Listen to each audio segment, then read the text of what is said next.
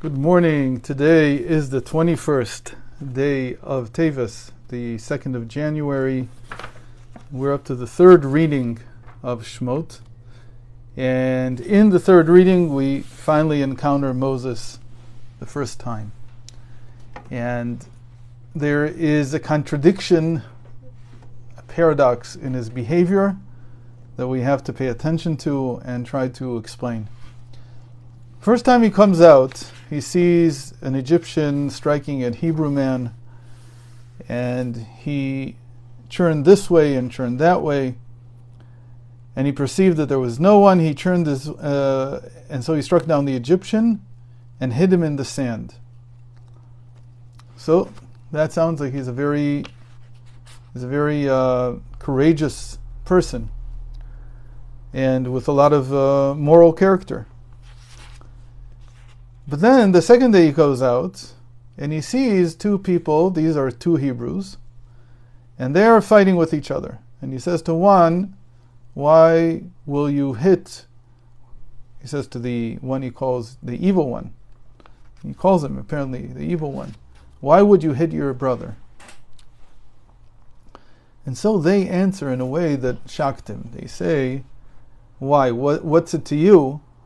Do you plan on killing us like you killed the Egyptian? And so Moses hears this and he says, I've been found out.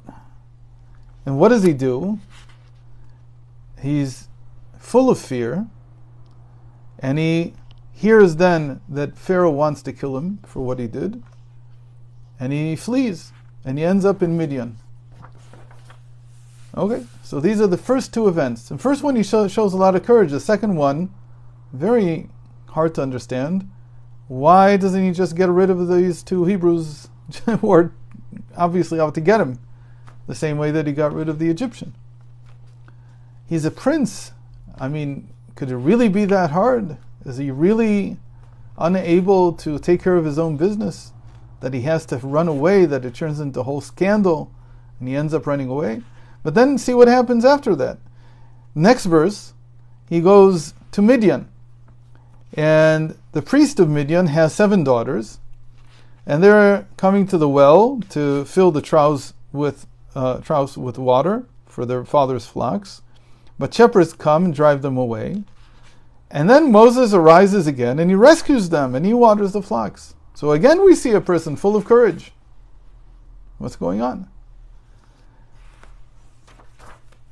But then, in tomorrow's reading, we're going to read about his encounter in the wilderness with God, who wants to entrust him with the mission of taking the Israelites out of Egypt. And here, once again, we ask, where did the courageous person go? Because he argues with God, according to the sages, for seven days. It's easy to see it in the verses, actually, if you pay a little bit of attention. He's there for seven days. He argues with God. He doesn't want to go on the mission. But even more troubling than that, not only does he not want to go on the mission, but he keeps claiming that the Israelites won't listen to him. They won't believe that God had revealed himself to him. And so God says, I'll give you a, I'll give you a sign. And so he gives him the first sign, which is throw your staff down. The staff turns into a snake. And what does Moses do? He runs away. And then God has to bring him back and says, "Okay, grab him by the grab him by the tail." And so he does, and it turns back into a staff. There is a seesaw here between Moses being a very courageous individual who has a lot of moral character and someone who seems to be very soft hearted and has no standing and isn't able to fight for his own. And it's very troubling. What, what, what is going on here? So, in, so the thing we want to notice about, well, we want to ask first of all, which is he? Is he soft hearted or is he brave?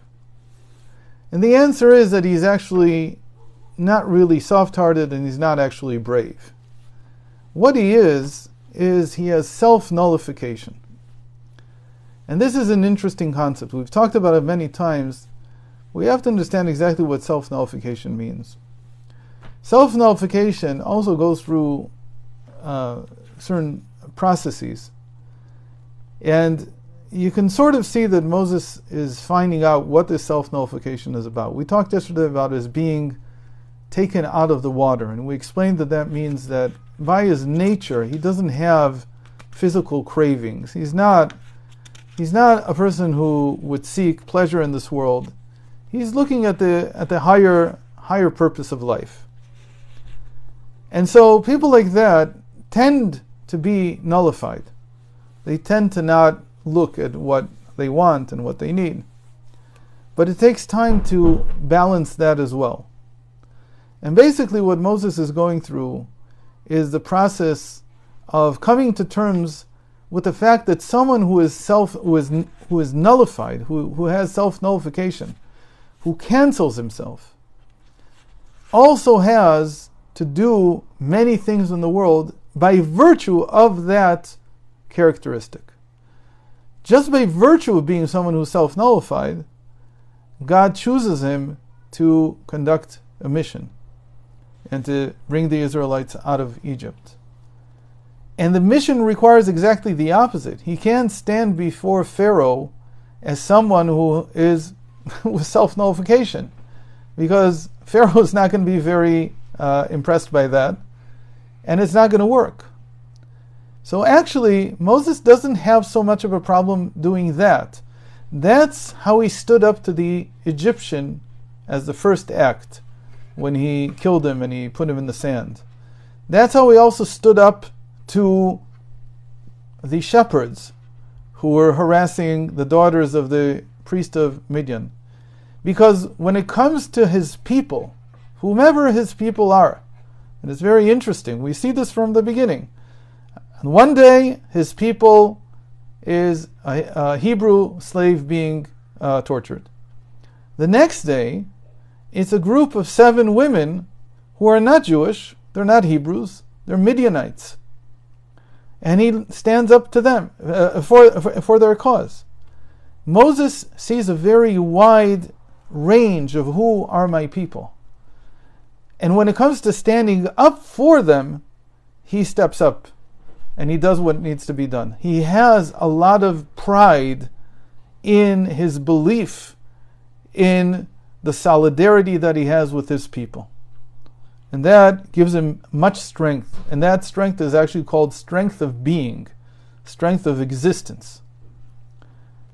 When it comes to confronting his own people, same people, but this time confronting them, and this time telling them off, and this time, the first time was with the two people who were fighting with each other, feuding with each other, he couldn't stand up to them because there his self nullification comes into play, and he feels, Who am I to get rid, let's call it, of somebody from my people just because they're after me? That's what self nullification is. He's going to be walked all over. Because when it comes to his people, he says something very interesting. He says, It's not worth it to me to bring some out and not others. In other words, it's either everyone or not everyone. That's exactly what his claim is to God. Send the one you are used to sending. He says to him, Don't send me, send the one you are used to sending. And the sages say, say what he means is, Don't send me because I already see that I won't be able to bring everyone out. Send the Messiah himself. He will be able to bring everyone. But I can't. And if it's like that, I don't want to do this. I, this is not a mission for me. Meaning Moses, Moses is too soft in this area. Well, not too soft. He's just he's soft. He's soft-hearted. He can't he, he can't choose and say, okay, there are people that are going to be against me, maybe personally, maybe for some other reason, and therefore they won't come out into the wilderness. They won't be saved from the uh, Egyptian exile. They won't be. They won't come to Mount Sinai to receive the Torah. I don't want that on me. If you, God, want to bring everyone out, send the person who can bring everyone out. That's not me. So when it comes to his confrontation with his own people, he's soft. He can't confront them. Later on in chapter 15, we'll see the uh, seminal statement that he says about himself and Aaron. At the time, they were the most successful people in the history of the world. They had done something nobody had ever done. They had conquered an empire with their hands without even sh- shooting a bullet, as they say. And yet, when the people come to them with uh, complaints that there's not enough water, there's not enough food, there's not this, there's not that, they don't come and say, okay, we'll take care of it, because we took care of everything until now. They don't aggrandize themselves. Moses says, we are nothing. Really, the ones you want to talk to, uh, the, the one you should complain to is God, not us. When it comes to confronting his people, he's always nullified. He's never willing to bring, and, and later on we'll see with Korach, I think we actually saw that uh, last year, his confrontation with Korach is the first place where he's actually willing to come and confront another one of his people. Until then, he's not willing to do it at all. He's always um, forgiving, he's always forbearing, he's always annulling himself, all for the benefit of someone, someone else from his people. Again, when it comes to fighting what later Maimonides will call the wars of God, fighting against, Pharaoh, fighting against these shepherds, fighting against the first Egyptian who was torturing his uh, a Hebrew, there he is being. He has a sense of, of, of self and he's very powerful. When it comes to confronting his people, he's always preferring to lose, even be chased out of his home, lose, his fa- lose everything he has, lose his status as a prince in Egypt, lose everything, even maybe his plans that he might have had in place to free the slaves at some point when he became the, the Pharaoh. He's willing to lose all that, all that because he's not willing to confront. He's not willing to fight with one of his people. We see this in his name. How is this in his name? In Hebrew, his name has three letters Mem, Shin, and Hey. The first and last letter, Mem and Hey, they spell the word Ma. We mentioned before that in chapter 15 he's going to say the seminal statement, We are nothing. The way he says this in Hebrew is, Venachnu, we are Ma. We are nothing. Ma is like saying nothing, not. So the external letter, letters of his name spell this word nothing. That's his. That's the that's the, the, the face that he shows his people. The middle letter is the shin, and shin stands for either fire in the book of formation, or more importantly in our case, it stands stands for being yesh. The shin is yish. To be a yesh means to be someone. When it comes to fighting for the rights of his people, for their survival, for their benefit, there he suddenly becomes very powerful, He becomes a, a being. He becomes full of pride in his abilities, in what he's capable of doing. And this is actually the paradox that every person has to carry with him. That's what Moses is teaching us. That I have to be very clear about what my limits are and what my scope is. When it comes to my people, I can't afford to win against them. My purpose is to help them, not to win against them. So if it means losing, okay, so I'll lose. But when it comes to defending them from that which is outside, there I have to have being. There I have to have a sense of self. There I have to have pride in what I represent and what I am. And that is the uh, uh, uh, explanation for Moses' different behaviors in, in each case. And as we'll continue on and seeing his uh, his uh, conduct, we'll see more examples of this, and uh, perhaps have a chance to even uh, go a little bit deeper into understanding this uh, dichotomy in his uh, soul. So thanks for joining today.